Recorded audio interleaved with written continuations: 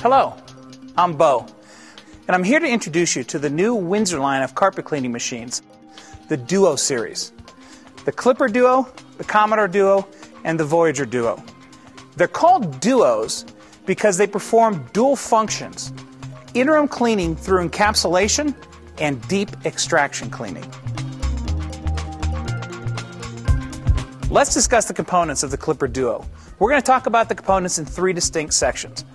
We're going to talk about the control panel, the body of the machine, and the undercarriage, where the vacuum shoe, brushes, and spray jets are located. Let's start with the undercarriage of the machine. On the undercarriage of the machine, starting from the back and moving forward, you'll notice two jets. The white jet is used for encapsulation cleaning and it sprays at 50 psi. The blue jet is used for deep extraction and rinsing and it flows at 100 psi. To remove either of the jets, simply give them a quarter turn and they pull straight out. They can then be cleaned and maintained and put back with a simple quarter turn. Every time you put the jets back in, they're perfectly aligned.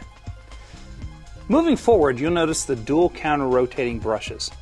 This dual counter rotating brush system increases the cleaning performance by cleaning both sides of the carpet pile. The brushes remove very easily so that they can be maintained and cleaned on a regular basis.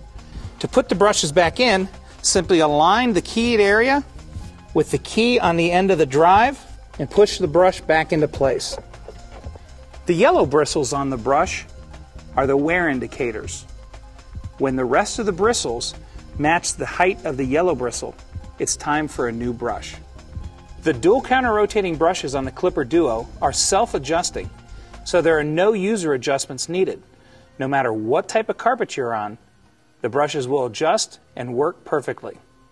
The vacuum shoe swivels from side to side so that it provides even pickup on uneven floors. Let's discuss the components of the body of the Clipper Duo. In the front, we have a 10 gallon freshwater solution tank filled with fresh water and chemical.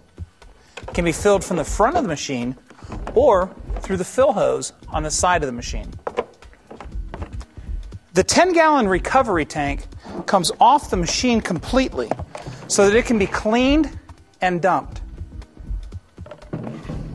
The handle on the Clipper Duo can flip forwards and backwards so that the machine can be operated in either a pullback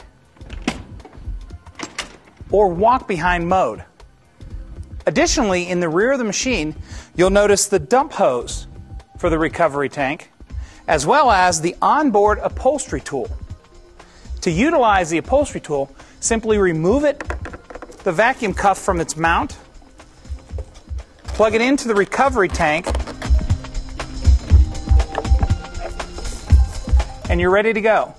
The hose gives you an 8 foot reach for spotting and upholstery applications.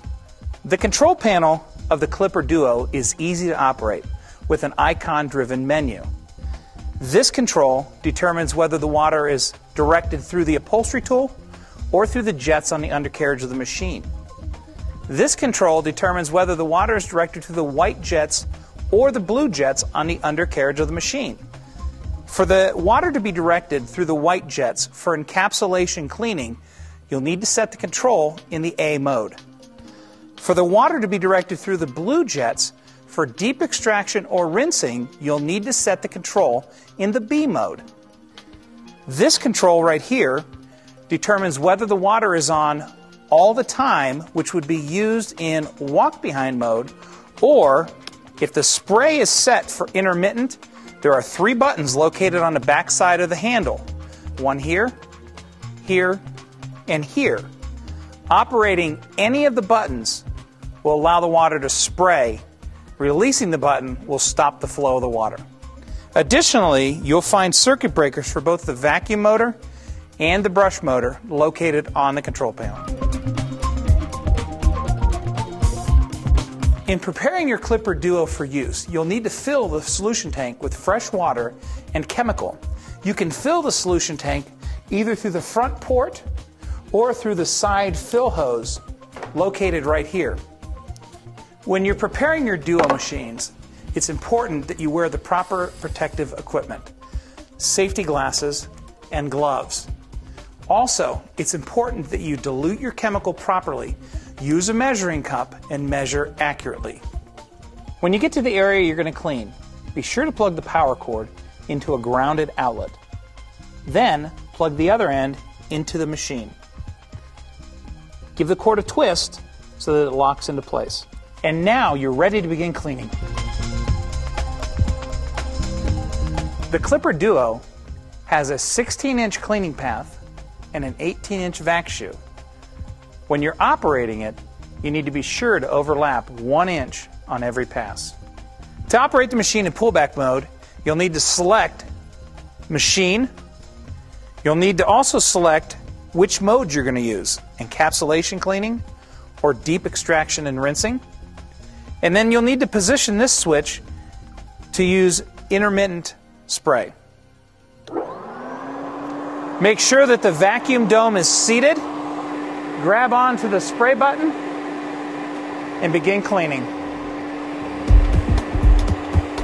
Release the water button and move back another foot so that you pick up all the water. The pace you want to use is that of walking a small child through a park. Not too fast and not too slow. As long as you can see water coming in through the recovery dome, the machine is operating perfectly. To operate the Clipper Duo in walk behind mode, simply select the machine, determine your cleaning mode, whether encapsulation or extraction, and set it to spray all the time. Adjust the handle over. Normally, in pullback mode, you want the handle low around your waist. In walk behind mode, you want the handle high around your chest. When you get to the point that you need to make a turn, simply shut the water off, tilt the machine forward, turn on the wheels, turn the water back on, and continue cleaning, making an overlap pass of your previous pass. To use the onboard hand tool, simply select hand tool mode, turn the water on, move the handle forward, Plug in the vacuum cuff into the recovery tank, and you're ready to clean.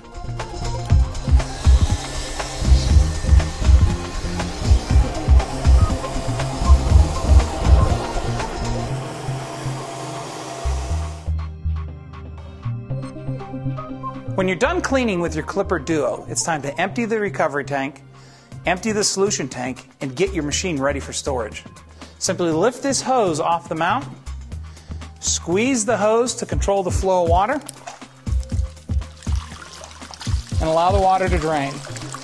Next, empty the freshwater solution tank.